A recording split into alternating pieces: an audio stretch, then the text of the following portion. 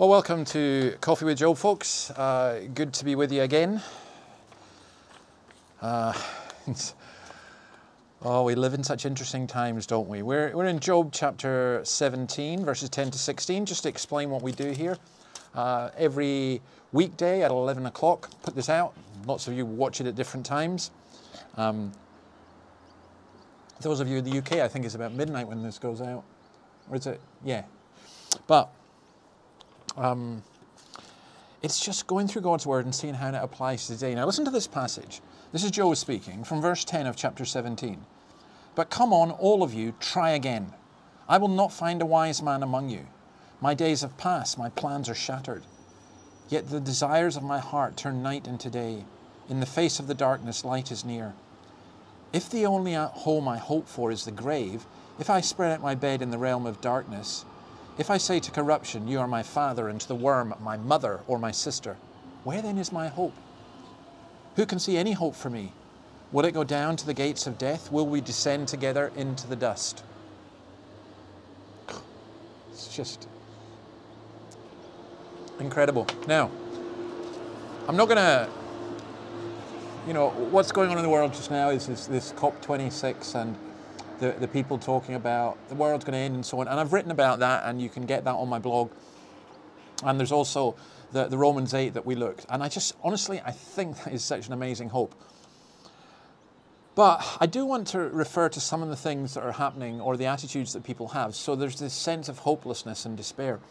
And for once, I'm going to quote the wise words of Greta Thunberg blah, blah, blah, blah. I think that's where our leaders are. And this is what Job is saying here. Come on, all of you, have another go. Try again. It may be a little bit sarcasm, it may be a call to repentance. Surely you are the people, he said in chapter 12, verse 2, and wisdom will die with you. Now he's saying there's not a wise man among you. And I think our leaders and our people, we want to know is there a wise person amongst them? Really? What, what is a wise person? Not just someone who, not someone who can Google, not someone who's got degrees, but someone who knows how to apply the knowledge that they have been given. They certainly need wisdom. And then hope is gone. I think of Greta, and I do feel sorry for her, standing in, before the UN in New York going, You have shattered my dreams, or you have stolen my dreams, I think. Well, Job says, Yeah, my days have passed. My plans are shattered. They're gone. They're gone. And his only hope is Sheol. His only hope is the place of darkness. His only hope is to call the worm his mother or his sister and to say to corruption, You're my father. He said, I'm going to the grave. I'm going to the place of darkness. I'm going to the place of disintegration. Is there any hope for me? Why keep speaking when there is no hope? Well, I think there is hope. Now, if your hope is in the politicians coming to some kind of meaningless agreement, which is really just a wishful thinking and a prayer, you're going to be disappointed. But there is another hope. He keeps speaking. I, think there's a contrast here between feelings and reality. Let me explain it this way. He feels hopeless in the black pit of despair, but he argues logically out of that despair. Now, I can identify with that. I would say that three or four times in my life, I've known a black despair. And thankfully, generally, they were mercifully short.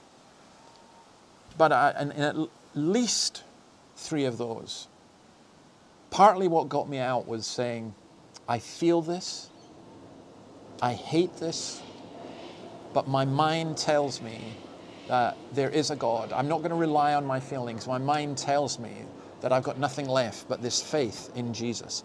Too often we allow our feelings to dominate our reason when it should actually be the other way around. So that comes back to Christ again, doesn't it? Christ went through all that Job went through the longing for comfort, the loneliness, the hatred of God against sinners. He too stared into the very jaws of death. He didn't do more than stare, he went there. He went to Sheol. That's what our confidence is. That's what our, our hope is. And, you know, the more I go on, the more I see it, and the more I'm burdened to let people know. We live in a hopeless world, and yet we have been given great hope through Christ. See you tomorrow. Bye.